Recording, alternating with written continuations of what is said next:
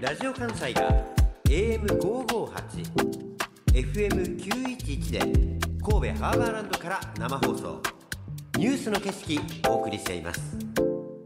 8月9日金曜日の特集です。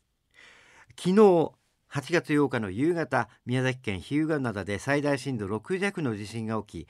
気象庁は初めて巨大地震注意を発表しました。この地震に連動して別の巨大地震が起きる可能性が高まっているということで気象庁は関東から九州の太平洋側などに住む人に対して今後1週間は防災対応をとってほしいとしています。まあこれは1週間のみならずこれから先への警告でもあるんですが一体どういった構えをしていけばいいんでしょうか。日本地震学会の西影弘和さんに伺います。西影さんよろしくお願いします。あこんにちは。よろしくお願いします。あの西影さんはずっと兵庫県の西部から岡山県にかけて貫いている山崎断層をずっと研究されていますよね。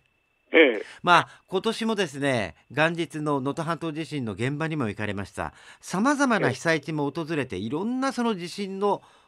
ありようですね。起こり方とかそういった経緯を研究されてますが今回のこの宮崎日向灘の地震どう見ますか？はい。まああの先あの政府の方はね、えー、2050年までに、ね、80%の確率で起こるとか言ってますけれど、まあ、あの京都大学の名誉教授によれば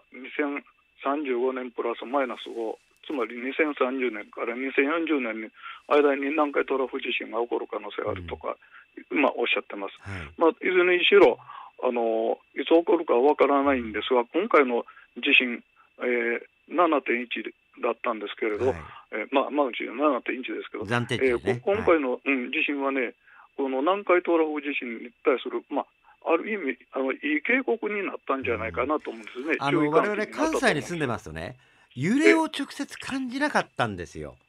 日中ね、あのいわゆる4時40分頃です、夕方。そうです、ね、ですから、はい、余計にその説得力というのがですね、なかなかこう我々の方には伝わりにくくて、まあ、気をつけなければいけないんだろうなということはわかる。で場所も宮崎県沖ですからこれ南海トラフの巨大地震に該当するものであるというふうな認識はあるんですけどもなかなかその認識がないままあ1週間警戒せよと言われてもということでしかもこういう夏休みの時期ですから、え大変その混乱も若干招いていたわけなんですけどこれ歴史的にも南海トラフ地震っていうのは長いものがあるんですよね。そうですね、はい、えー、まああの日本はね、あの歴史、古文書にずっとすごい歴史がありまして、はい、まあ、今まで南海トラフ地震はあの、まあ、分かっているだけで9回ね、少なくとも9回起こっています。一番古いのはね、なんとあの684年、あの白鳳時代、えー、飛鳥時代ですね、はい、大化の改新が、まあ、あと40年ぐらい後に南海トラフ地震、まあの時の記録が残ってるんです。まあ、これが数えて、まあ、今9、あの9回起こってるんですけどね、今度起こると10回目と。でその中でね、まあ、200年150年から100年から150年とかいろいろ言われてますが、はい、えー、まあ、実際あの股間としましてはいろいろまあまちまちで実際260年ぐらい間が空く時もあれば、うん、もう100年ぐらいで90年で起こるようなこともあります。うん、だだけどあのそれだけにいつ起こるかわからないんでねやっぱりあの今回の地震あのあんまりあの揺れを感じなかったらわからあのピンとこないかもしれないんですけれど、はい、ちょうどね1か月前私あの姫路市内のある中学校えこれは、ね、山崎断層の真上にある中学校で講演をしましてね、はい、今朝方そこの教頭先生から電話ありましてねその時に私が講演した時南海トラフ地震の話をしてたんで今回のことは非常にあの、まあ、身にしみたと。でちょうど夏休みで生徒がいないんだけどあの子どもたちにメールとかであのやっぱり気をつけるように呼びかけたいということでねやっぱりそこであの危機感を、まあ、これをきっかけに危機感をね、まあ、持っていただきたい、まあ、危機感といえばちょっとあの言葉がきついかもしれませんけどもし自分がいる場所で地震が起こったらどうしたらいいかなというようなことをね常々考えるトレーニングをまあ、いつもいつも考えてたらやっておれませんけど時々、まあ、あの立ち止まって考える。特に今回3連休で盆休みもありますので旅行とか行かれた人は例えばホテルでは非常出口はどこにあるかとかね、まあ、そういうようなこともあの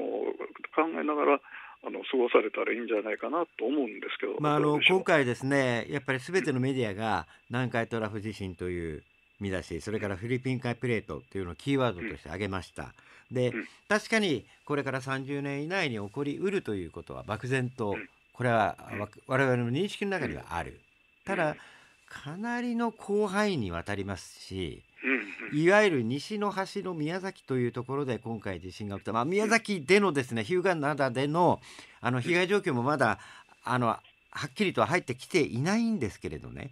余計にその辺りの認識がですね、まあ、警告今西掛さんおっしゃったのはそうなんですが我々の中ではまだまだ人事というふうな認識があったのかもしれませんのでこれ具体的にやっぱりこれ静岡辺りから分布してるんですよね。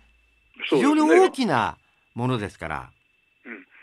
もうあの長さがね約500キロあって、今回一番、まあ、西の方で多かったんですけど、うん、まあ、今までに、ね、この南海トラフがね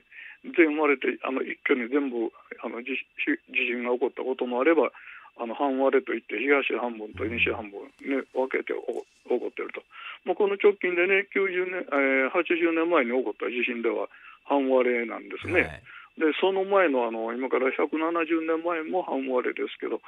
その前あのはあの全割れとか言ってねそれからあの半割れといっても2年のうちに起こった時もあれや32時間のうちに起こったとか今あるんでもう起こり方はまちまちですのでね。あの今回あのヒグアナの方で起こったから西の方だからという話にここからあの東の方に当然あの、えー、なんとかね、あの連鎖する可能性もありますのでね、誘発されることもありますので、決して気は抜か抜かない方がいいんじゃないかと思います。何よりもね、今年の元日の能登半島地震ですよ。ええ、これでやっぱり私たちは災害から逃れることはできないというふうに感じた瞬間だったんですよね。ええ、でなぜかというと西影さんねこれ何年も前から能登はそれを想起させるような地震がやっぱりあったわけですよね伏線として。えでそれでこの元日でしたから、えこれやっぱりその地震というのはもちろん突然起きるということで我々警戒しなきゃいけないんですがやはりその伏線だのいろんなものがあると。で今回の宮崎もそういうふうなことを我々に伝えてくれてるいわゆるアラーム的なものであるということなんですがね。ええそうですね、あの年が明けますと阪神・淡路大震災から30年です。この30年間で我々の認識も変わりつつはあるんですがどっかでやっぱり忘れてしまう。ですから、うん、そのあたり非常に心配なんですよね。1週間以内と言いますけども、やはり私はそれ以上のものがやっぱり必要なんじゃないかなと思うんですが。うん、いや、それはおっしゃる通りでね、はい、さっきも申しましたようにね、あの実は2年のうちにあのまたあの南海トラフの、ね、半分が起こるあの地震が起こったところがありますのでね、まああのまあ、1週間というのは、まあ、あの地震の回数が減るというだけの話で、決して終わるということではありませんのでね、はい、今おっしゃるように、その認識は持っていた方がいいと思います。あの先ほどね、あの作用の方で 15, 15年になるということをおっしゃってましたけど、ねはい、ええ、私もあの時ボランティアに行ってたんですけどね、えー、それはまあ大変だったんです。あの泥かきなんかもね、もうもうすべてもうこれは大変だなと。であの河原にあの石がだっと転がってたんで、これ河原か思ったら実は田んぼだった今ね、水害で全部田んぼが石で埋まってるようなことでね、まあ、やっぱりまあ地震も一緒で、もう自然災害が起こると本当にあの大変なことになります。あの作用の水害の場合はね、外へ避難すればそれでいいと思って避難された方が犠牲になったと。で外への避難が危険な時にいわゆる少し高いところに逃れるという垂直避難ということがとても大事だ。これ初めてのことだったんですよ。気づきとしては。ですね、ですから、うん、やっぱりこういう時ももうデマと言いますか間違った情報にやっぱり踊らされてはいけない。まあ、この辺りはですねやはり我々注視しながらこの夏休みの時期ですけれども皆さんお過ごしいただきたいと思いますねちなみに、えー、西影さんはこの現地の方に行かれますか？今回宮崎には。ちょっとね今あの現在考えておりましてね、うん、今まであの能登とかも地震があったまあ全て行ってるんですけど、まあ、今回もねちょっと今あの考えております。はい、はい、日本地震学会の西影弘和さんでした。ありがとうございました。はい、どうもありがとうございました。ラジオ関西ニュースの景色。AM558 FM911 神戸からお送りしています。